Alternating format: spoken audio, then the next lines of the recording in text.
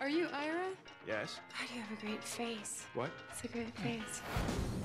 Do you have a girlfriend? No, I, I have a fear of perishables. Do you want to get married? I don't know you at all. Half of all marriages end in divorce anyway. We probably have as good a chance as anyone. Are you not attracted to me? No, that's not what I'm. Are you worried we wouldn't be sexually compatible? I'm getting married.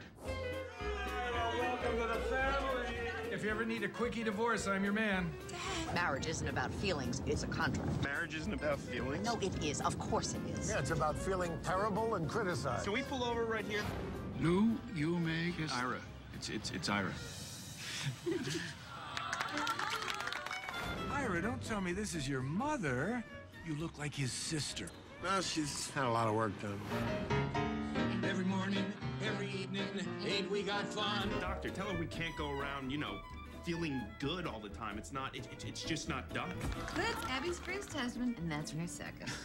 I have a hard time saying no to people. So you marry them? Ira, Leah.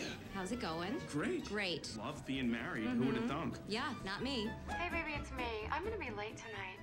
I'm having dinner with Ronnie. He really has to see me about something. We're kissing. He seemed very into it. I took off my clothes I can't do this. and he bolted. Oh my god, I'm Yay. sorry. Hey, babe. Wait, you, know, each other?